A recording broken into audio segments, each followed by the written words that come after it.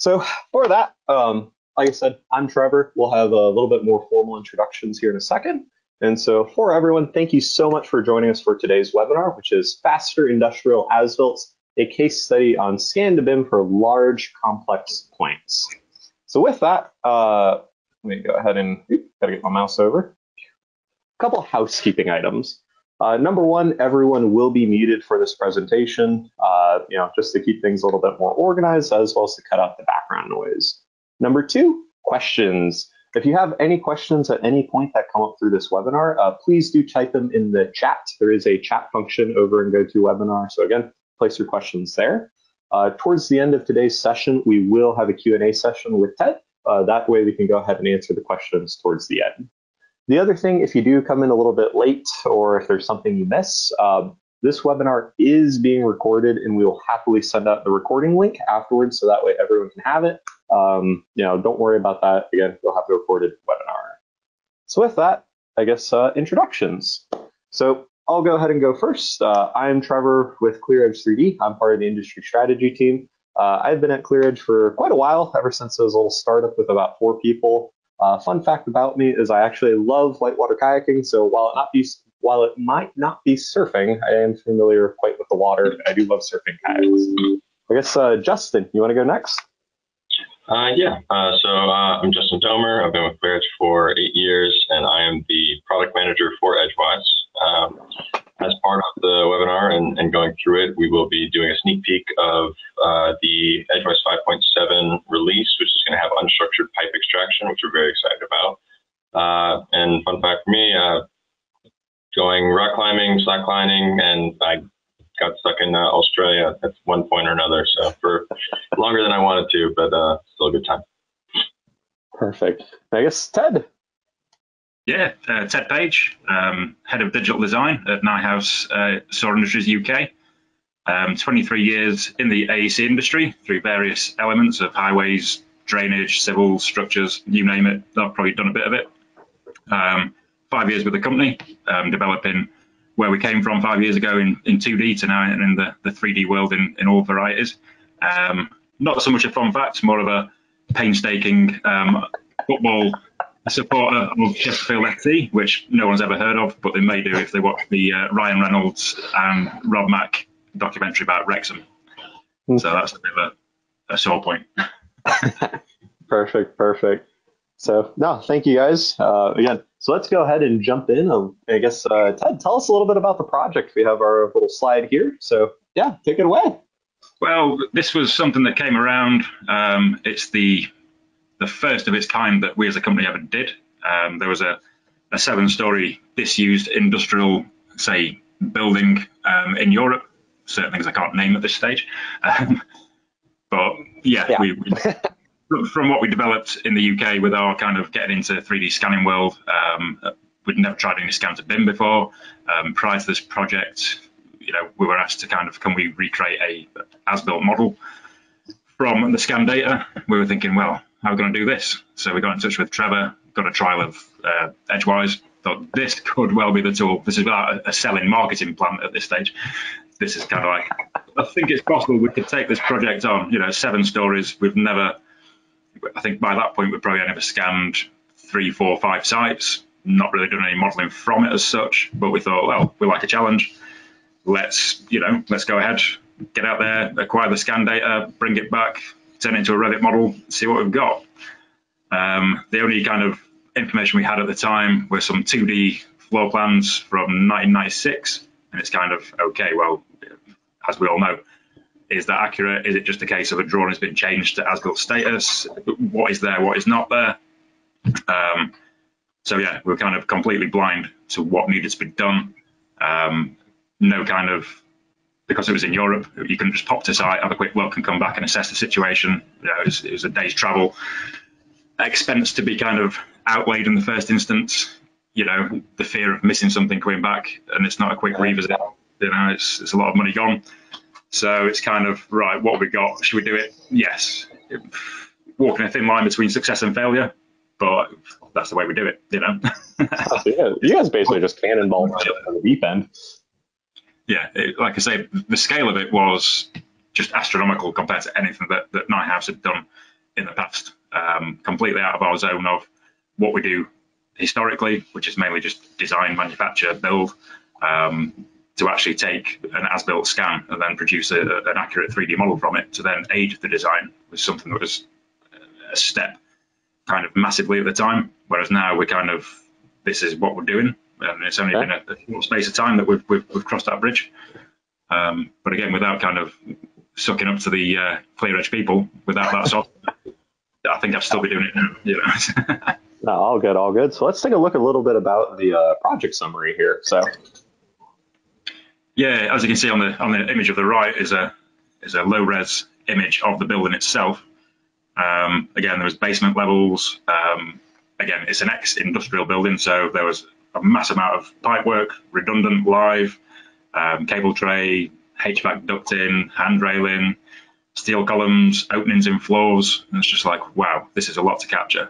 Um, yeah, the, the, just in, insane.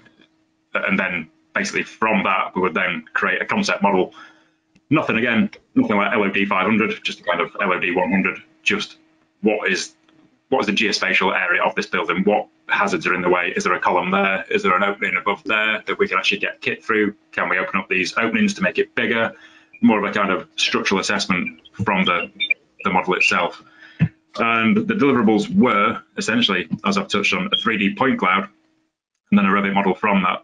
Um, no production of 2Ds, elevations, anything like that. It's mainly just so we could bring the site back to the, to the design teams, which again were based in Nijhuis HQ in Holland, the UK team, and then the client as well throughout Europe. So again, as we know now, the advent of 3D scanning, you bring that site back to the people. You have got people going across there day in, day out, week after week, racking up the uh, the pounds and the dollars on on travel.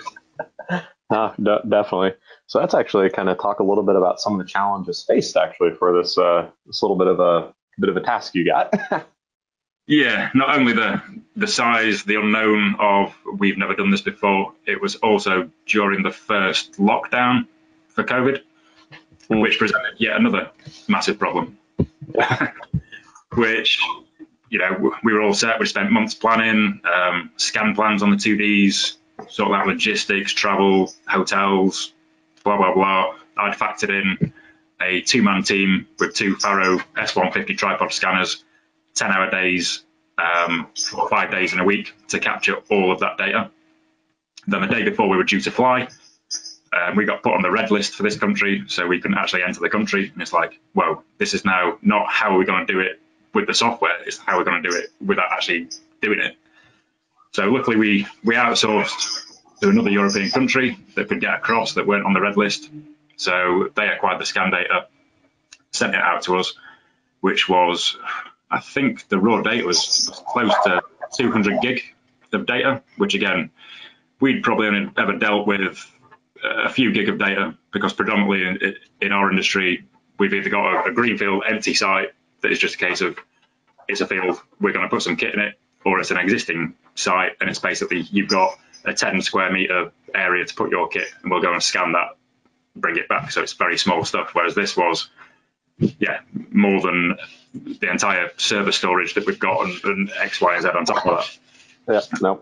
So, again, the, un, the unknown, as I mentioned, it would have been a one visit job, no kind of revisit because, yeah, it, it, it wasn't, you know, viable to do that. The unusual complex space, which again, as you can see from the images on the right, which is the WIP model of there's some piping in there. I say some, there's about 15,000 pipes. Um, the steel structures, um, there were certain areas on the 2D as-built which were kind of no-go areas, or you needed rooftop access training, you needed this, you needed a, a chaperone. There's some other nuances in there. Um, other than that, yeah, it was the first time we'd done anything like this, so everything was new then we would kind of sat waiting for the, the scan data to be delivered and then thinking, right, as soon as it's delivered, we're going to get that right to go and model. And it's like, right, we want to know what we're doing. Again, do we have the hardware that can support a point cloud of that size? Luckily, I've done the research prior to that, and we upgraded to decent spec machines. Um, so that wasn't an issue. But even still, with a decent spec machine, trying to load in a point cloud of that size to say Revit it's not going to happen. And then you'd have to separate it up into a gridded point cloud, extract this, extract that, rebuild it.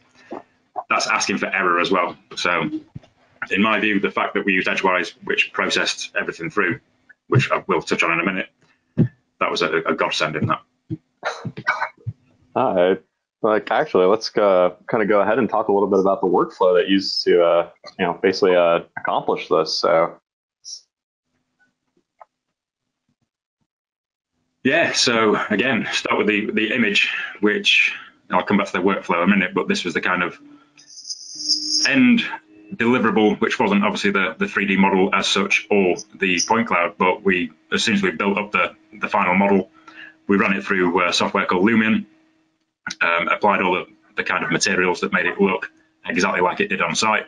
So at least the client and anyone could look at it and go, well, that is an accurate representation of what we've got again, like I say, it was a shame that we couldn't get out there and acquire scan data.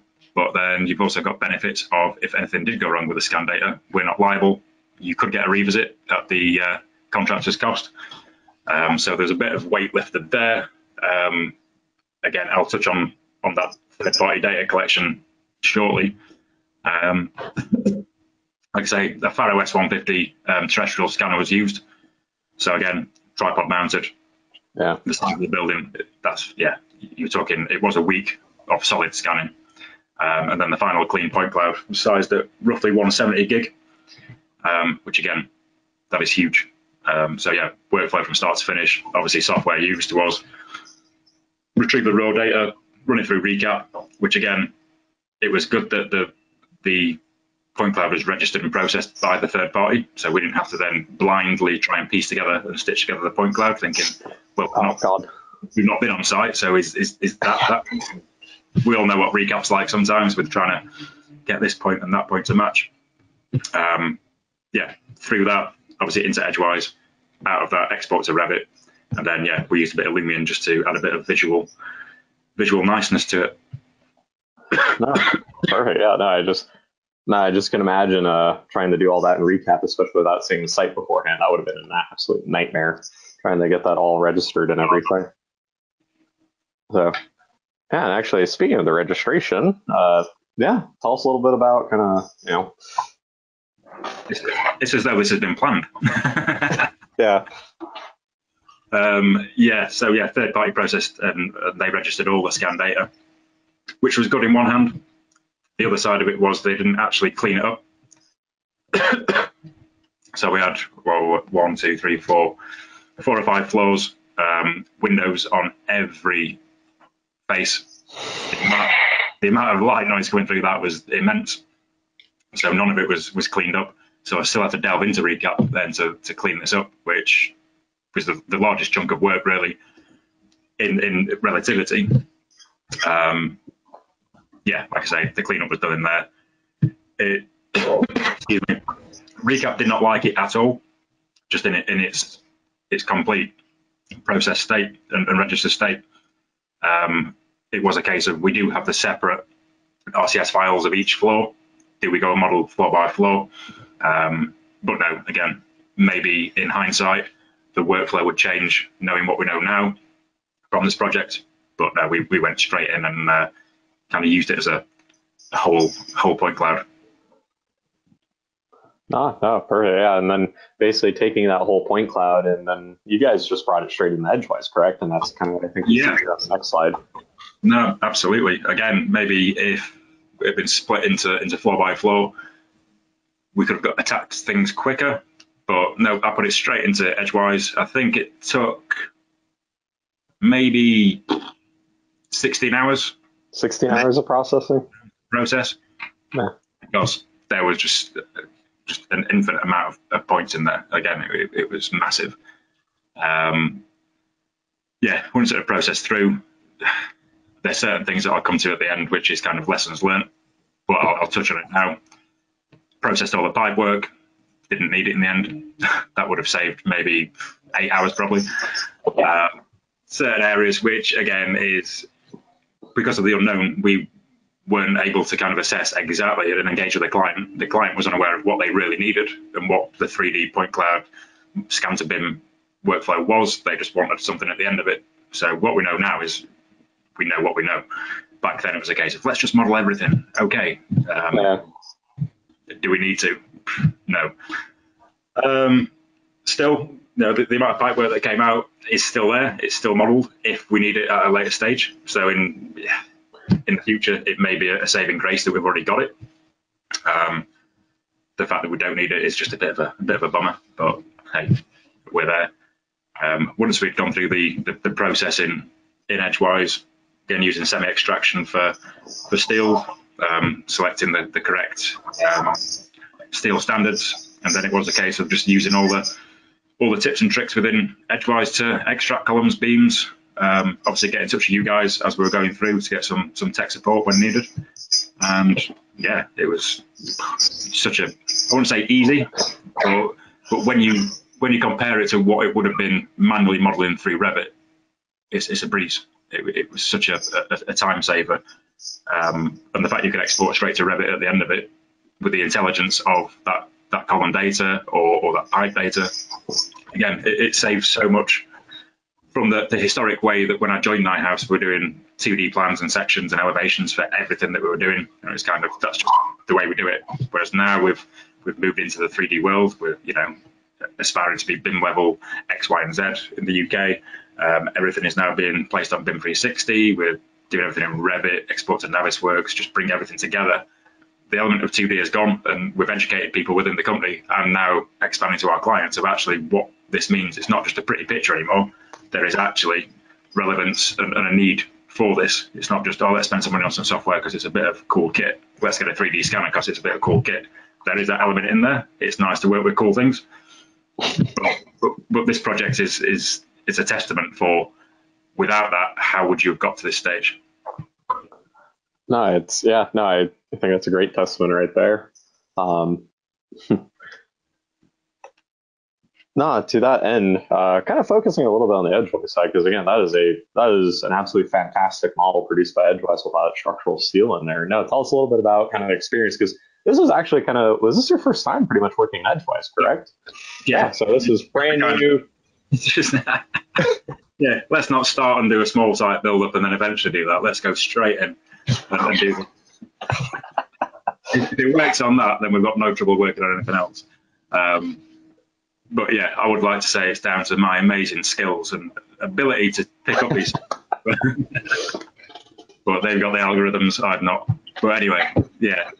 Again, first point on the on the slide there is, is time savings. It, it took, I say three weeks. It was a full three weeks and maybe a, a touch more to actually complete that modelling within Edgewise itself. Um, yeah, it's you know like I keep I keep saying, if we were to do that without the software, just a massive amount of error will creep in. You'd, you'd miss a lot of things. There'd be crashes here and there trying to recover data. Just the scale of it and, and try and get the accuracy as well. Not a chance. Um, so yeah, the, the way that again, I don't understand how Edgewise has the algorithms that makes the point cloud more manageable. Don't get me wrong, we still have crashes, but you've got something of that size. It's always going to happen. But you try and load it again in ReCap, and it's just mm, no. I want to orbit. Let's wait a few minutes. But obviously, Edgewise is built for point clouds solely, and you spin around, click this, click that. I want to get into there, get into this. It made it felt like it was actually in the site itself, just picking certain columns to to model. And yeah, again, I, I can't praise it enough. But for money saving, approximately, again, you, you take three weeks against, I'd envisage maybe three months probably to maybe model that in Revit without the, the software. You know, you, could say 20k, you could say 30k. It, that could keep rising. Um, on reworks that you may need to do, the fact you could verify the Edgewise data very easily, and again using I forget what um, option is in Edgewise, like the remain Uh, cloud. Yep, the remainder cloud are the smart points, the uh, Yeah. special point cloud exports. Yeah, so once you've actually modelled certain bits, it takes that out of the equation and shows you what's left. So it's a case of ah, there's a column there, there's something there, not just by visually going, yeah, I think that's right. You know, to actually physically see that cloud decimated as you're going through it. It- It's just a kind of checklist as, as you're working, and it's one of those things that you you think it's this is too easy. There's going to be some there's going to be a, a catch somewhere, or there's going to be a major flaw. So far, didn't see it in that Um, the client's probably listening, thinking, "No, it's terrible." We've not told you yet, but no, no, but yeah, no, it, it, it was money saved, time saved, um, and it was another introduction, like at, at, the bottom bottom of the slide, introduce innovation to the company. You know, Nijhuis has always prided itself on being innovative. We're always bringing out new technologies in the in the water industry, um, things like the most recent one, which is you know turning a a local Southwest um, League One football club turning their away fans' toilets, um, or their T to P we call it, or P to pitch. So uh, all their, their waste then gets turned into fertilizer to, to sprinkle on their their football field. So innovations like that, not just what you see, but from from my side, the digital area, the, the tech side, we're uh, yeah, we're a fairly new company to this kind of world. But I say Scan2BIM has never been anything we've done. It, it was this project that kind of was the first thing, and there's still people that don't know what Scan2BIM means. But the more we do it, the more it gets out there. Um, and again, yeah, straight from the UK. You know, I've got a team of uh, two people, so it's not as though we had a big team on this. It was essentially me doing the Edgewise and then my colleague doing the Revit afterwards. So it just goes to show you don't need a team of 20 people to get these things done. Oh no! I, I mean, again, I think it's fantastic because, like I said, this was like, or like I said, this is basically the first kind of foray into this, and you know, it's not like you guys took it on a small little job or anything. No, you guys went straight to the deep end. Uh, again, no ramping up with Edgewise. It was just like, hey, we have this massive project. Here's Edgewise. Let's go for it. And I, again, I would say you guys knocked it out of the park. I think, you know. I'm sure that if it had gone wrong, I would not be sat here with a nice t-shirt on, say this is yeah, I'll be working probably. no, it's a risk you take. It's a risk you've got to take to get to where you need to be. So. Oh no, completely understand. Understand and I actually do that. And you know, I'm really curious, kind of like how everything, I guess, uh, you know, kind of wrapped up. And now, you know, they say hindsight's 2020, but you know, uh, kind of things that you've learned, you know, after this experience with, you know, BIM, you know, all of it. Yeah, lots of lessons learned. Probably still a lot of learning to be done. Um, yeah, it's like I say, the, the, the first factor was the fact that we couldn't acquire our own scan data. You know, I think anyone that's listening or anyone that's been involved with Edgewise, 3D scanning, or anything of that throughout the careers, if you can acquire your own data, you've got ownership of it. You know what's what's what. You you know that that is correct. So any error that may have crept in for something of that size again was a bit scary to think we've got to rely on someone else's data that we, we can't verify. We've been given something and and that's that. Um, another thing uh, you know, agree on the level of detail or level of information from day one. You know, we, because everyone in the project was kind of new to what was needed. It's kind of, oh yeah, we can go out and, and we can get a model of everything. So the client's kind of, oh, we just want a model. Okay, so that's not filtered through, but what exactly do you want? Well, as much as you can. So, okay, but actually, it, it came down to being just the walls, the floors, the steel columns, and any openings. Other than that, we kind of went too far. Um, it didn't kind of hinder the overall timescale. It was just extension on that initial processing time. Um, because with the pipe work, I just did the semi semi auto extraction that ran through anyway and left it at that. So I've not done any connections. I've not put any valves, flanges, anything like that. So it's kind of just left in its its first run.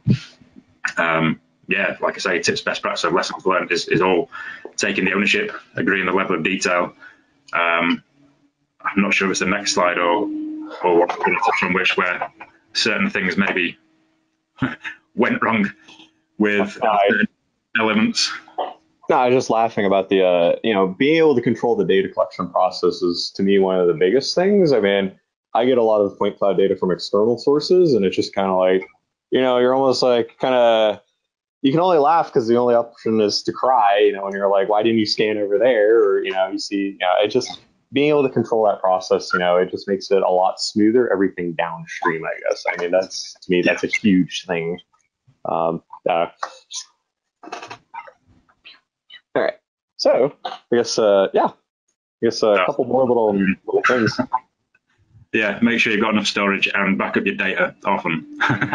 this was an element of uh, personal error mixed with a bit of poor infrastructure, which, yeah, um, kind of halfway through, or maybe after week one and a half of extracting the uh, steel columns, my extremely reliable Samsung SSD failed.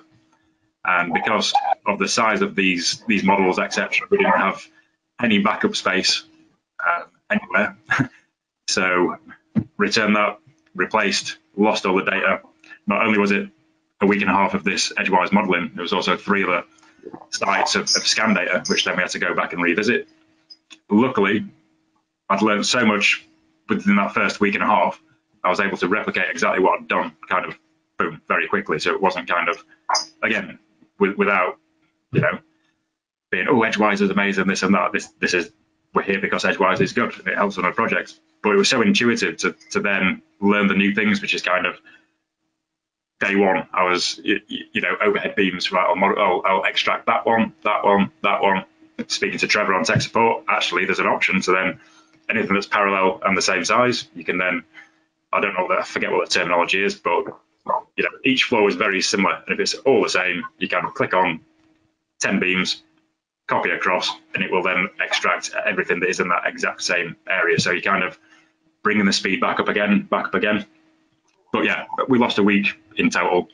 Um, like I say, luckily it was it's very easy to, to recreate. Um, again, I, I, can't say more than that on Edgewise really. It, it, it did the job completely, and, and, then obviously believe that now.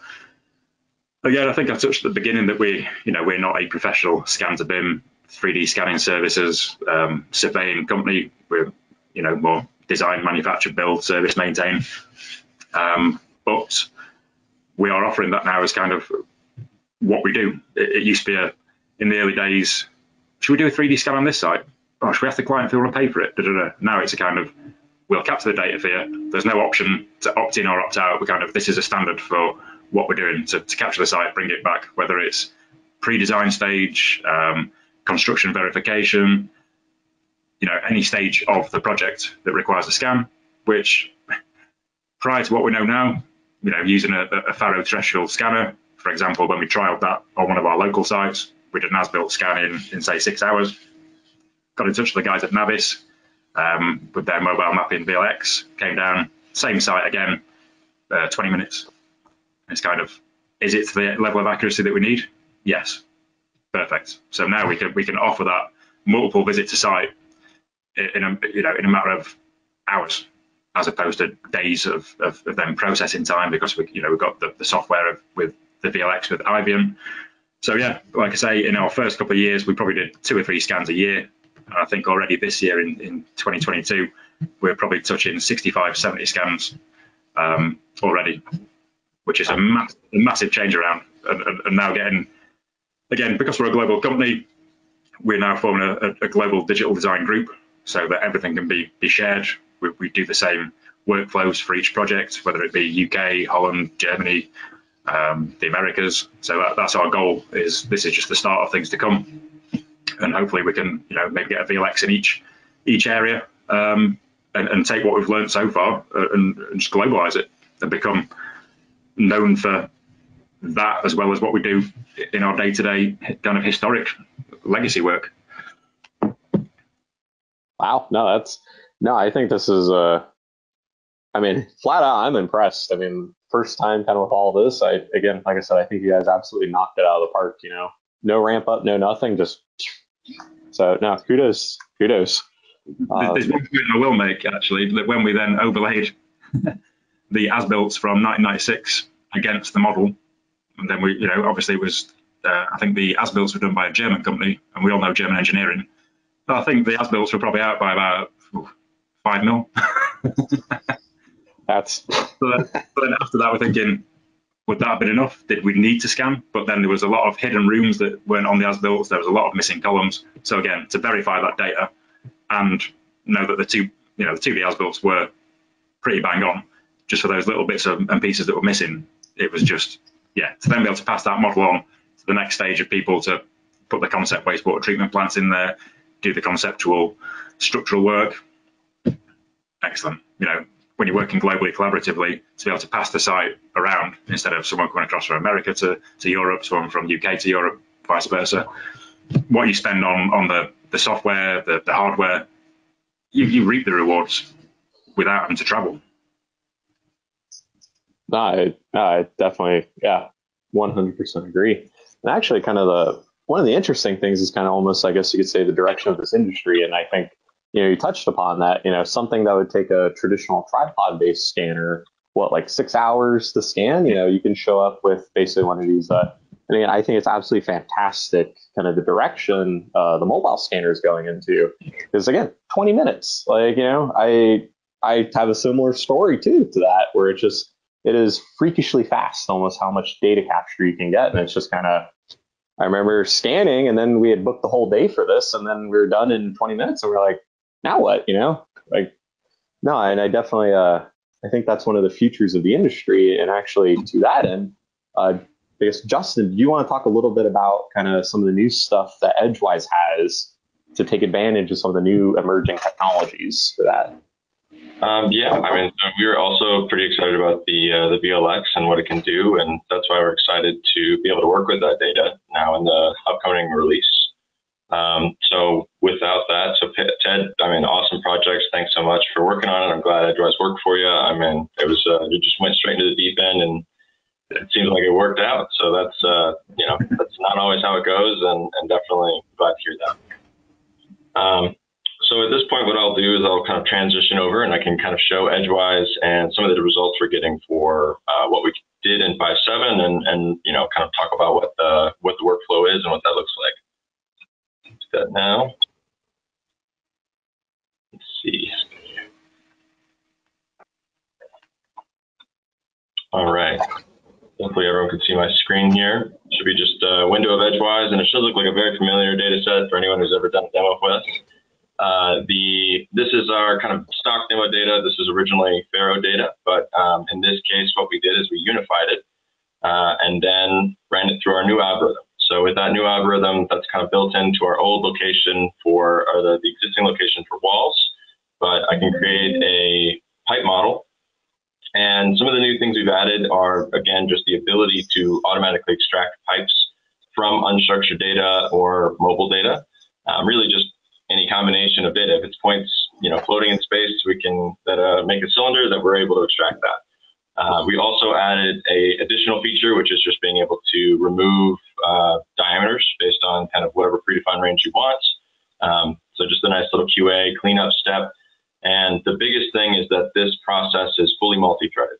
Uh, it fully takes advantage of the CPUs that people have. And so if you have a four core, you know, quad core CPU, and uh, if you have an eight core CPU, it's twice as fast uh, as running it on a on a quad core. So we're really excited about the ability to really take advantage of the CPUs that are coming out today and process a lot more data uh, even quicker. So right now we are looking at this being uh, faster than our existing uh, process scans for structured data. Um, and then the other benefit is the ability to cut and clean up your data like you're going to have to do to go into Revit anyways. So being able to, you know, cut it into chunks and, uh, you know, section it however you normally would do that for Revit in your standard workflow and just run those chunks through Edgewise and be able to bring that in is one option. You can bring in, you know, your whole project unified. Uh, you can work with the structured data if you want to do that. So it's, you know, extremely flexible now and then we're also able to work with uh, VLX data. Uh, so in this case, this is, you know, again, our kind of stock data set, uh, but we are extracting very similar to what we had before as far as our process scans. Uh, for structured data, we're able to get small stuff. We're able to get the, you know, the big stuff. Uh, in this case, I ran it with the, you know, filtering on. So we, we removed a bunch of uh, kind of different sizes that I didn't really care about for the scope. But um, it's basically running and, and creating our runs. Uh, in this case, the workflow still applies. We can go through and I can grab, you know, smart sheets and go to the QA mode and see the data and look at the elements and, and see how they line up. Um, I can also go ahead and run our standard option for Easy Connect, and this will go through and you know do its thing for filling in all the gaps for us. Um, so the workflow is pretty much the same. It's just a lot more flexibility and the ability to uh, process different types of data. So uh, again, we're really excited about this one. Uh, we've been working on it for a while, but um, we definitely want to get this into people's hands very soon. Uh, another example of this that I have is our, uh, it's actually a demo data set from VLX, uh, from NavVis. So uh, just like I said before, you know, you can take any clip of the data. It doesn't have to be the full point cloud and and run it. And we also are able to extract different runs and systems from the from the data inside of here. So that's what we've been working on for Edgewise 5.7. Uh, additionally, we also support Revit 2023, which we're glad to get in people's hands. Um, and yeah, so we will uh, we will that's our sneak peek for Edgewise, and and we're really excited to yeah we just you know we've been working on a long time, but um, you know we, we know this is going to be a big step in the right direction to be able to cover people's workflows and uh, and work with things like VLX and other mobile scanning data. Yeah, no, thank you. I guess thank you so much, Justin. This is something we at ClearEdge are very excited about, and I guess you know, Ted, if you can imagine, like you know, go out, scan for 20 minutes with a VLX, run it through Edgewise, you know, within what shoot, with under a day, you'll have your model like sitting there probably 50, 70% complete, just waiting for you ready to go. So taking that three weeks and probably shaving it down even further, you know, probably inside of a week. So no, it's going to be something again, we are extremely uh, you know, excited about is the new uh, piping algorithms we got. So um, yeah, I guess with that, um, I guess we'll now open up the floor to do a little bit of uh, QA. So I guess uh, this is the fun part. so I guess uh, Justin, did you want to kind of open up the questions and I guess we can fire them off to whoever needs them. Whoever needs them. Yeah, um, let's see, take a look here. Uh, uh, okay, well, so one, uh, one, one of the first questions was, you know, obviously this is your first round of working on uh, this sort of project. What and, and, I think you covered it a little bit, but are there any other components that you would or workflow parts that you would want to change and, and try out for you know future attempts at doing something like this? Again, it's probably breaking something down of this size to actually um, extract the areas I need as we're going. Mm-hmm. But you know, even flow by flow was was kind of large, so just decompartmentalizing those things into small, manageable chunks with obviously having the control that we can piece it back together as it should. But I think trying to dive in and, and do everything at once was kind of a bit of a, a blind side. We, we should have actually broken it down and made it more manageable. If I had a, a larger team, you know, could have had a few people working on that one on floor one, floor two, floor three.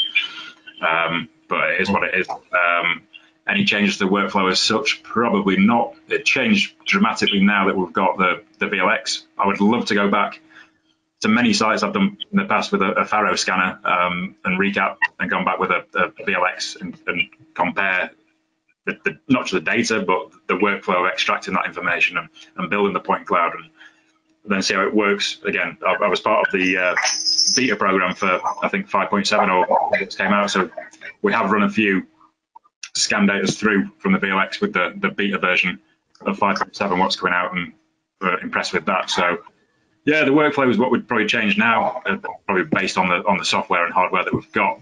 Um, again, ReCap we don't tend to use now to, to piece together and register. It's more of a verification of viewer.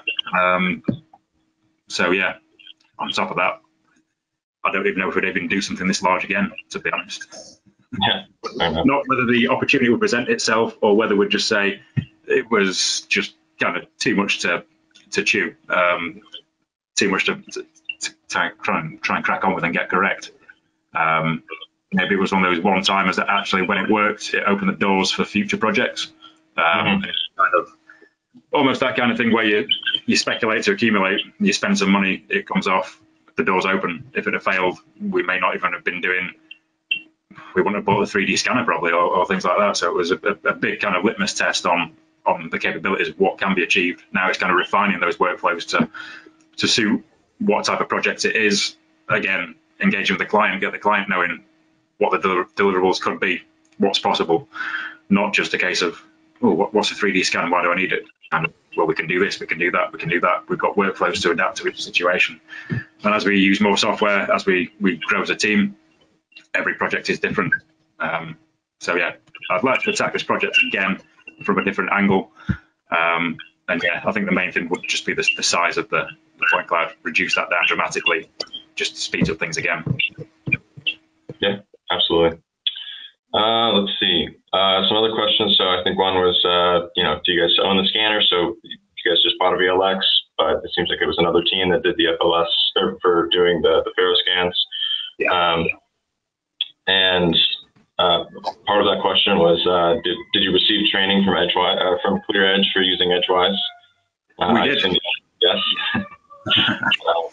yeah, we had the official training, I think, from Trevor himself. Um, which again, we, we had the, the, the, kind of so many days trial, which you can extract kind of 40 items or what it was. So we, we tested that on a very small site and went, wow, this is amazing. Which again, like we say, was, was nothing compared to, I think when we finished, we exported maybe 4,500 um, Revit columns. Wow. So when you put it in words and numbers like that, it's kind of wow. You know, to look at it, you think, oh, it's just a building. That's that's large. But when it's four and a half thousand Revit columns, yeah, even if someone drawing a Revit column a day, even copy paste, copy paste, it's going to take hours. even if it's in no kind of alignment or anything, but to get it accurate to, to millimeters of where it should be, yeah, perfect. Yeah, absolutely. Um, let's see. So another question is, uh, you saved twenty thousand dollars. Would you say the cost was uh, with your Edgewise workflow included in the the cost of the software, or is that um, so? That's including the cost of the software. Okay, absolutely. Great. Yeah, so it's pretty good. um, did you guys use survey control during the workflow? Um, there were some existing control points which were from, luckily, the original points were still there from 96. So it could actually set up externally. And then it was all controlled internally um, with a third party um, scanning acquisition. Again, I'd like to be able to verify that exactly. But again, acquiring third third party data without the original um, as built data and being there myself, we just had to kind of, again, a bit of a risk taking it on saying this is exactly controlled to where it needs to be, it's tight. We just had to have the faith. Um, gotcha. Okay. Um, so some other questions are uh, for the kind of workflow for scan data to Edgewise. So it sounded just a, it sounded like you kind of had everything registered in ReCap, and then sent the full point cloud to Edgewise, and then separate, and then after that, then you broke it up into chunks for bringing into Revit. Is that uh, does that kind of sound right? For or what was that um, workflow like? That's what was a workflow that could have happened. Again, yeah, we had the whole um, tied together full seven story point cloud in, in ReCap. We processed all that straight into Edgewise. Um, and then as for actually inserting any point cloud data into Revit itself, that was only through the Edgewise Revit plugin, which where we've got a wall, we want to add some windows. You, you again, without without the terminology from Edgewise, it's kind of you then portray the point cloud on that face. You can see where the windows are. So that's the only time that a point cloud ever ever touched Revit everything was modeled within Edgewise and then used the export to Revit function. Yeah, and that was also the, the smart points and the remainder cloud. Yeah, remainder cloud as well. And, so and just yeah, so people understand what that is. So Edgewise has the ability to export uh, a new point cloud that is cut up based on what's been modeled in Edgewise. And so the idea is that you can do a smart points export, which is where you only export points that are near geometry that you've modeled.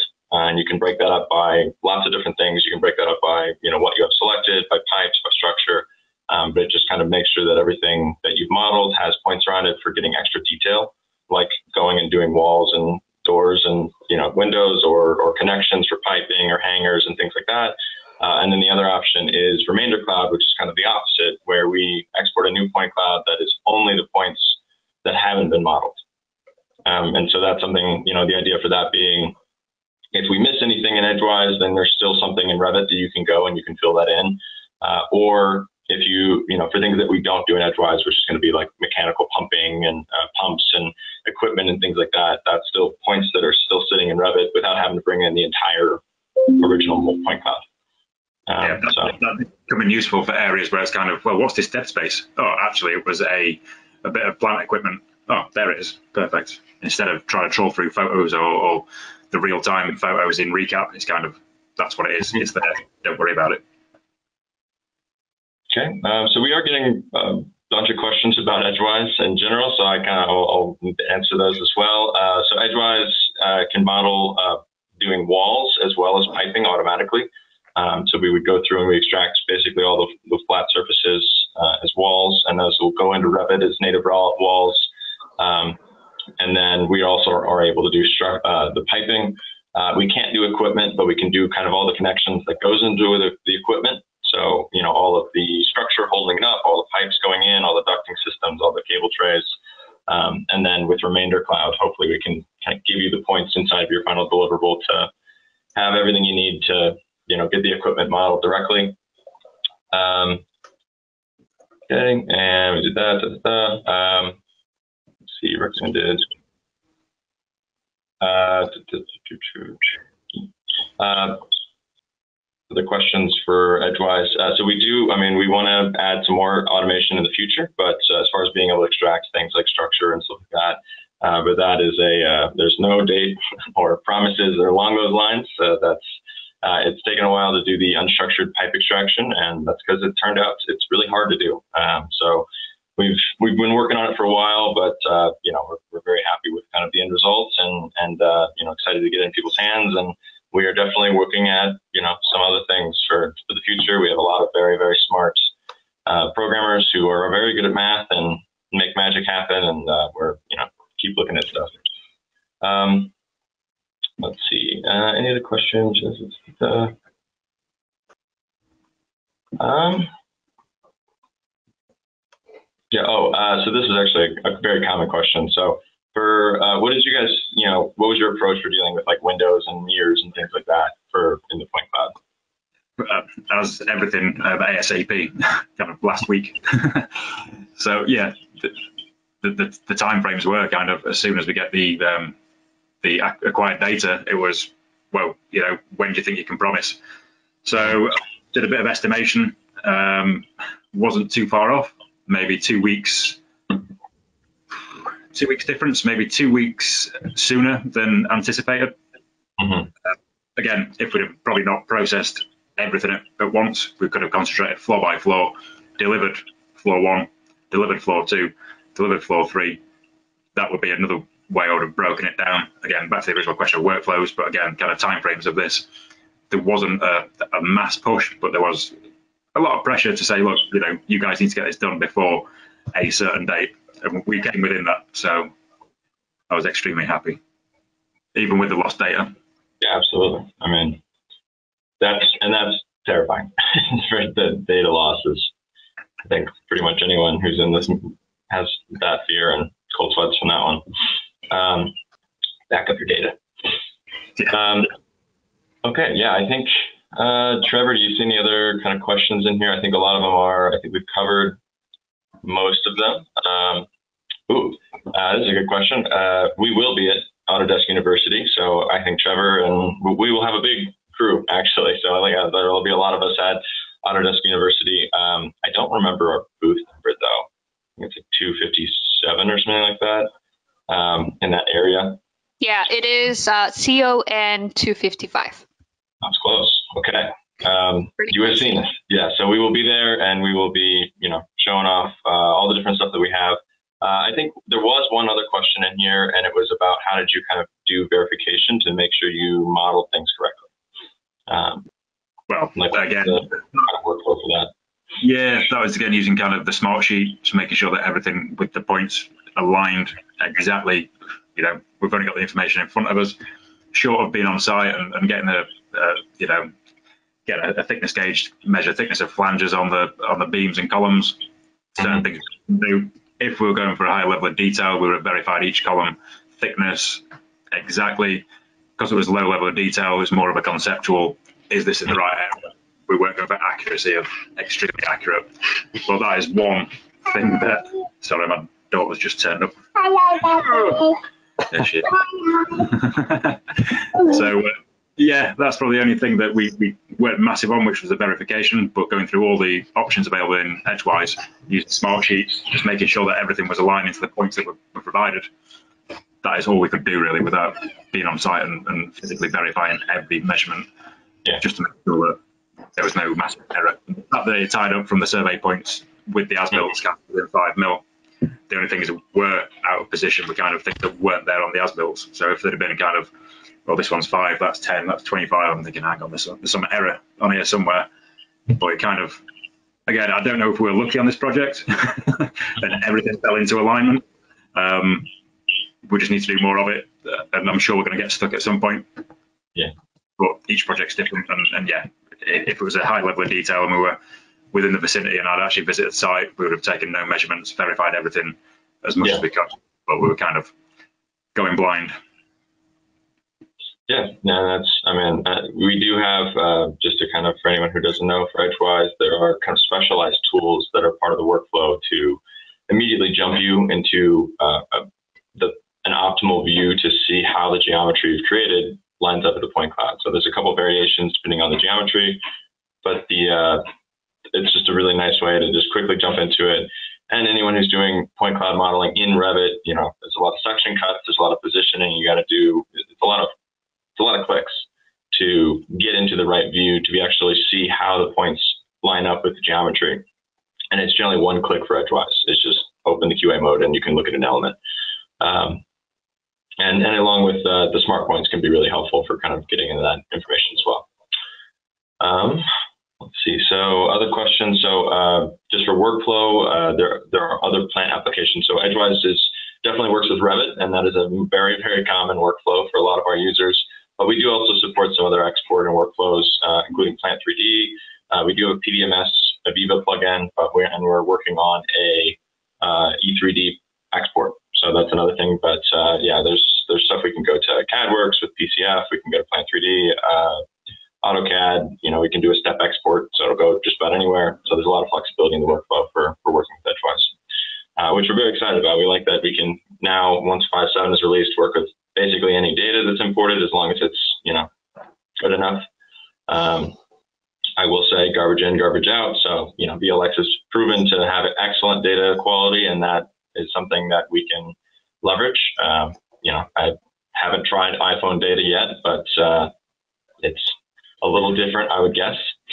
And um, so, you know, that that flexibility, though, is something we're very excited about. Um, I do not believe we don't have a direct export for S3D. Um, we have PCI, uh, PCF export, so it'd be an option for checking it out. If that is an import option, that'd be interesting to hear. Um, yeah, drone data. Uh, we can do that. We actually had a crazy, you know, there's there's different. Anytime if you if there's point clouds with round cylinders that have points for it, then we can work with it. So if a drone yep. can do that, then we can work with it. Uh, if you have photogrammetry and you convert that into a cylinder, that we can work with that. Um, we've had some very surprising results from lots of different places that we didn't expect. So uh, we actually don't know what the capability is going to be yet. We've just have the data that we have, which we don't have that much data comparatively to the hundreds and thousands of customers that we have. Um, so we're excited to see what happens. Uh, yeah, E3D is the sorry. Just I'm answering questions that are popping in right now. um, E3D is a is an option um, that we're looking for for AVEVA as an export for that, um, other than Plant 3D. Uh, and for unifying, you can use ReCap, but anything that unifies data would be fine. Okay. Um, I think at this point, I mean, if there are, we have given another minute here from a couple more questions, but um, I really appreciate the, the project and, and you working with us on it. I'm glad that Trevor was able to help you through and, and kind of get you over the hump and you were able to have this first project with Edgewise be a success. I mean, that's, um, that, that is a hard thing to have for any project type of any kind and uh, especially with something like this where there's so much unknowns and, and, so much data to work with, and you know timelines are tight. So um, that's really impressive, and uh, and definitely definitely appreciate you coming on for this uh, this at this point in the afternoon for you. Thanks for the invite, and yeah, it's been nice to share share our story, and uh, yeah, hopefully more to come. Awesome. Oh, perfect. Thank you, Ted. And again, thank you everyone for uh, going ahead and basically you know, signing up for this webinar. We all hope you enjoyed it. So again, today's webinar is recorded, so we'll be sending out a recording link so that way you guys can watch the webinar, distribute it around. Uh, with that, if there's any additional questions, feedback, if you want to get in contact with us, uh, if you go ahead and look at clearedge3d.com, uh, our website does have a contact form where you can get a hold for either sales inquiries, technical questions, all that. Again, we're always more than happy to be here to answer all those questions. So um, I guess with that, again, thank you everyone for joining us for today's webinar. And again, thank you so much, Ted, for being a part of this. Again, fantastic project. So happy to see you guys knock it out of the park. Again, great job. Can't wait to see what things you guys are going to be doing in the future. All right. I guess with that, enjoy the rest of the day, everyone, and happy modeling.